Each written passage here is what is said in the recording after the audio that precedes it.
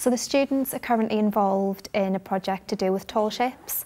Um, we were contacted by Sue Hurrell who was really interested and keen to get a group of students together to represent the university at the event and because it's such a prestigious event for the city it just seemed like such a unique and wonderful opportunity to get the students involved in creating their own work and you know letting their imaginations go wild in terms of what they could create in response to the brief really. The production's called Mackems Through Time and the students have been really keen on telling stories throughout history of the voices of people who live and work um, and exist in Sunderland. So the scene we're rehearsing today is um, about the World Championships in 1895. Sunderland won the World Championship that year and the main point of this section is to talk about how football brings about a sense of community in Sunderland. So from a drama standpoint, it's being able to say, I helped create that, I have put my stamp on something, I have helped direct, I've starred in it, I've helped costume it, whatever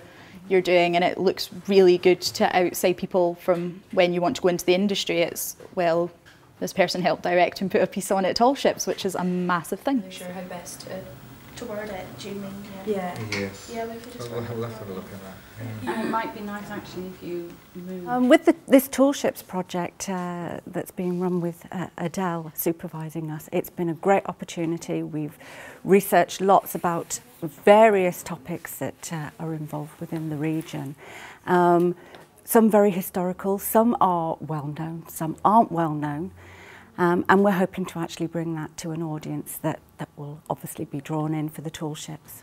I'm, I'm, I'm very excited that I'm getting to be a part of the tall ships experience really because I mean as a kid like I would go and I would see these things with my granddad and it would always be like oh yeah when I grow up I want to do this and I want to do that and I'm actually getting to grow up and be part of things that I have seen as a child and I think that's really important and I think it could be beneficial to other kids who are going along to see it because they could have that opportunity as well.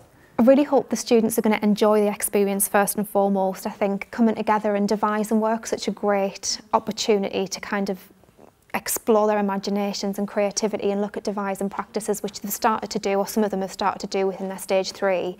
But I think it's a really great way of kind of continuing that kind of work in the field um, especially if students are kind of keen on setting their own theatre companies up. I think a lot of their work would be devised so I think it's really prevalent and relevant to the field and the practice. Um, and also just to kind of feel like they're part of a history. Um, Tall Ships such an amazing event to be involved in and that's why I wanted students to, to get involved in this. and can. So I think um, yeah, I think it's going to put a lot of things on the map. Hopefully, it'll put Sunderland on the map a little bit more, and the university on the map a little bit more, and the students, I'm sure, will create work that we're all really proud of. Was a thank you for football from both sides?